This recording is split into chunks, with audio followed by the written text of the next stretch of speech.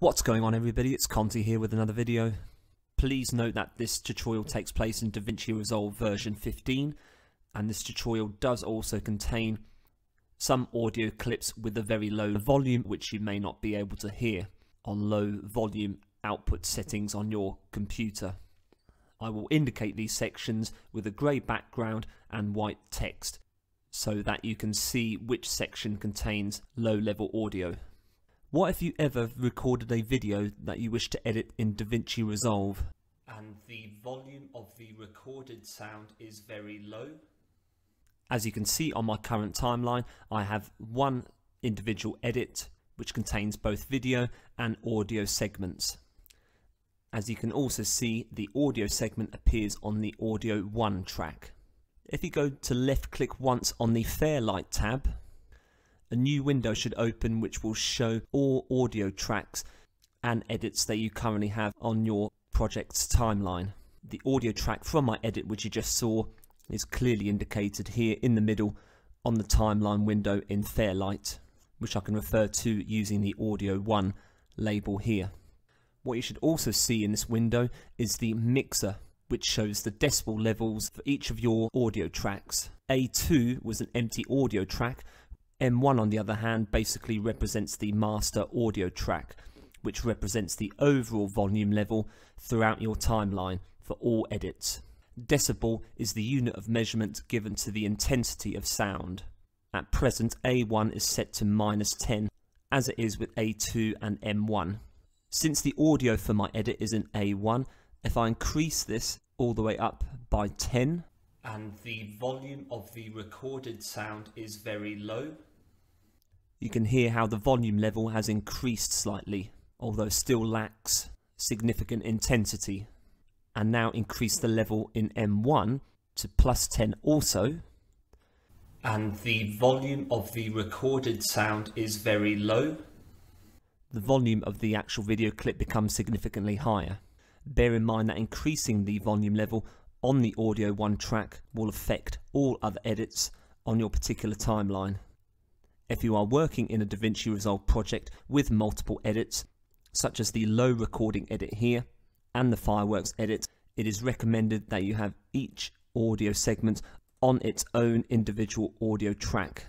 So both audio segments from low recording and fireworks currently are in audio track A1. If I go to my linked selection button, which I've also covered in more detail in a previous tutorial on this channel, if I left click this, so it is now deactivated as you can tell since it is no longer highlighted in white.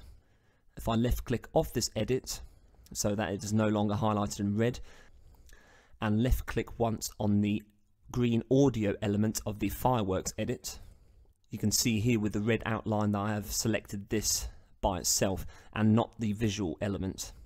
If I left click on this again, hold my mouse button down and drag this downwards, I've now moved this to audio track number two, which if I go back to the Fairlight window again, I can modify on a separate level to that of A1.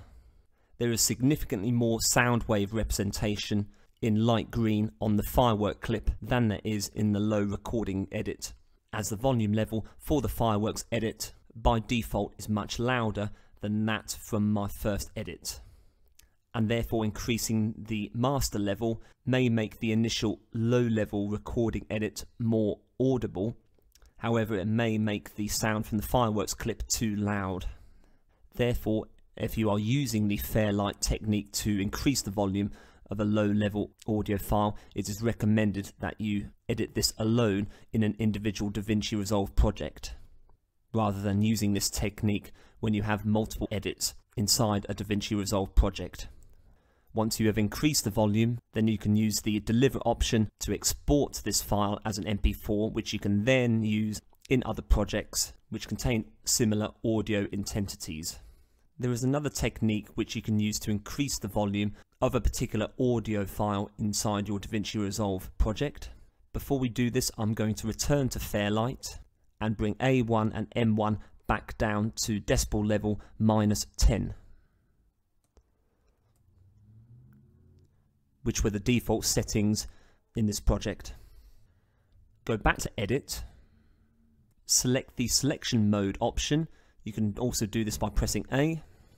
Left click once on the relevant media edits that you have on your timeline so that it is highlighted with a red outline like so. Go to your inspector window, go to audio and increase the volume number. By default, this particular edit's audio level is set to zero. I'm going to increase this level to 30, its maximum value. When I preview the edit once again, and the volume of the recorded sound is very low, you can hear that the volume level has increased significantly.